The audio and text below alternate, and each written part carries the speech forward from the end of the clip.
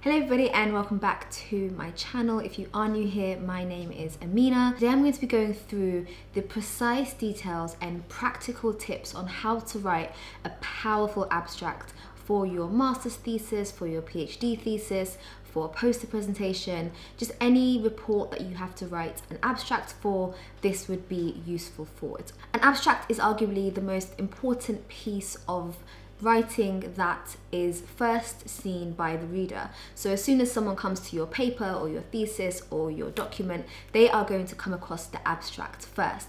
So I'm going to be breaking down today's video into two sections. The first is characteristics of an abstract and the second will be the content. And in order to do this, I'm going to be going through an abstract um, and showing you because I think it's very easy for me to, to talk and to say what you need to include, but it's a different story when you actually see it in practice and see how it's done. And this video came to mind because I recently marked three or four pieces of work in a row and for all of them, the abstract was the worst bit of writing, even though the actual text itself was absolutely fine. So an abstract is usually 200 to 250 words. It can be a one long paragraph or it can be two paragraphs. It's a concise summary of what is to come in the paper or in the essay and it should inform the reader on their decision of whether or not they want to continue reading the paper. Usually I'd recommend to write the abstract last, seeing as you kind of need to know what the story of your paper is going to be. So you need to know what the results are, what your conclusion is, what your future directions are in order to write the abstract. So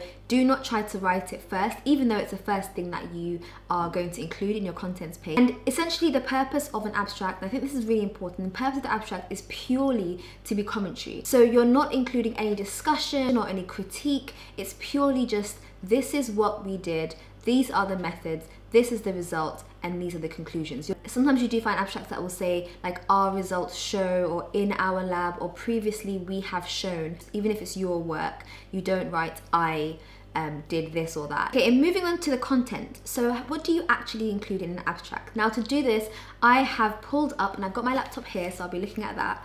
I've pulled up my abstract from a paper that was published in 2014 um, and I was um, an author on this paper and I just started my PhD and um, this was a very good abstract that I used in order to construct the rest of the abstracts that I wrote during my PhD and I think it's a perfect structure and it's a perfect example of how to lay out a, a really strong powerful abstract. The first part should be the introduction. Now this is broken up into sort of two parts. So the first sentence, the first one or two sentences, should be comprehensible to anybody from any field, whether they are in science or not. The first two, one or two sentences should be a general summary of what topic it is that you are going to be discussing. And then the next sentence or two can be going into a little bit more depth. It should be able to be understood by someone who is in your field. So we're not going into any detail yet. We're just introducing the topic and giving the context of what it is that you are going to be discussing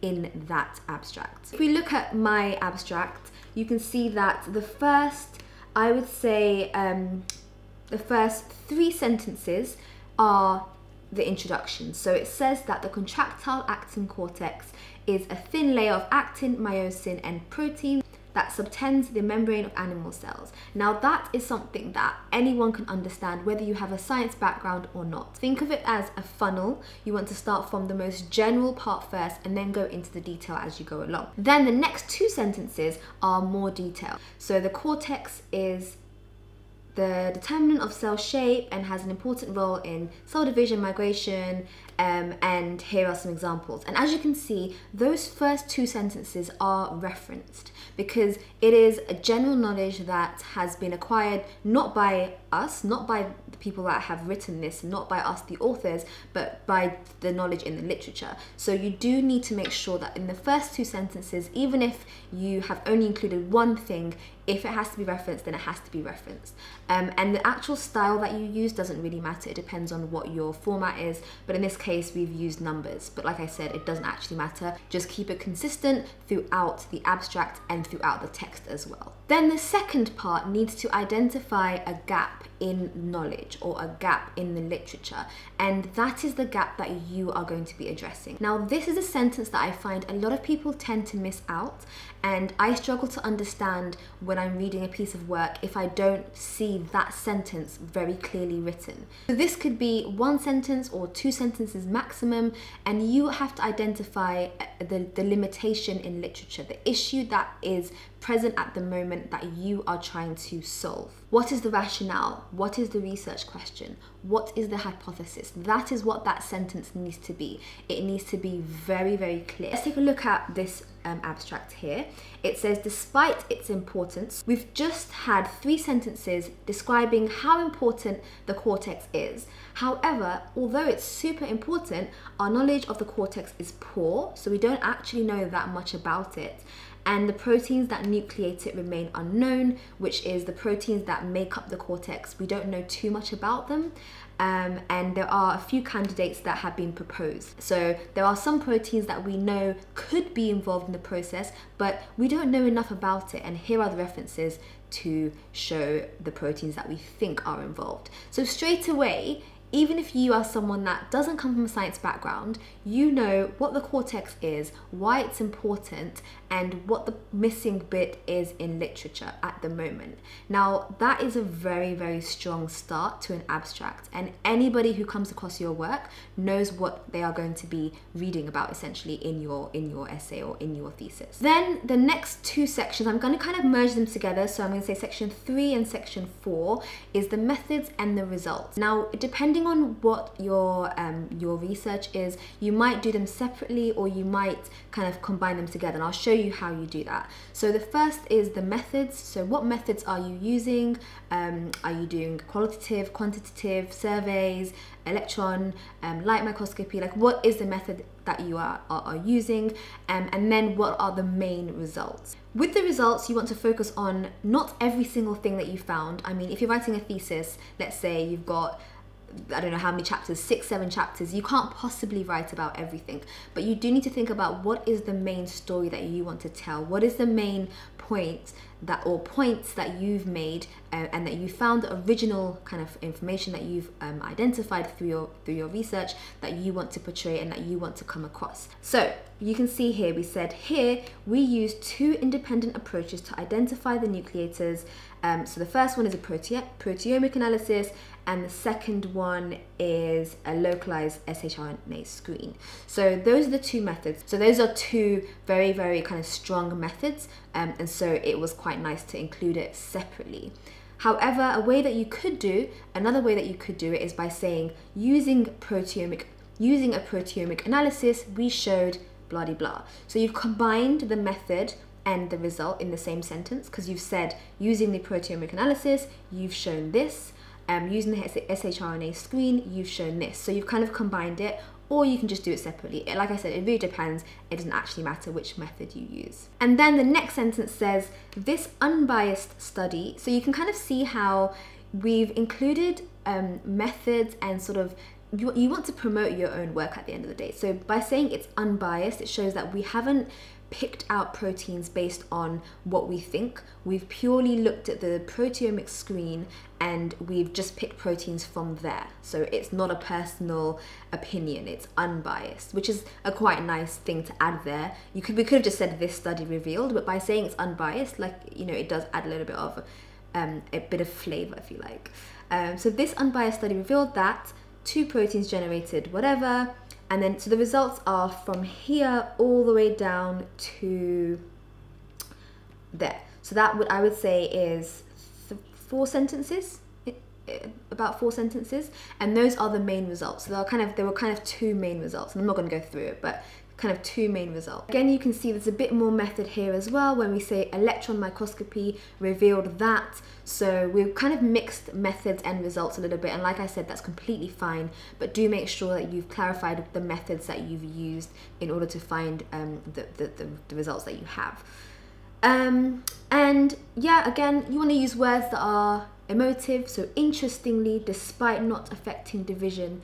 Um, so the word interestingly is quite quite a good one to use. Word surprising is a good one to use if you, if it's result that is surprising or unexpectedly, something like that that shows that what you found is not just what everyone thinks would have happened, but actually it was interesting that this happened. Um, and again it just it just adds character and it just adds a personality to to your abstract. The fifth section should be a conclusion. So the conclusion should be very concise very clear very short. So i would say no more than one to again no more than one to two sentences. You want to make sure that you've portrayed the significance of the study. What is the main takeaway point that you want to um, leave the reader with when they finish reading this abstract? And what is what is that one sentence that you would say adds to the current knowledge of what's known in your topic. So in our case, it says our findings indicate that the bulk of the actin cortex is nucleated by diaphanous and Arp2/3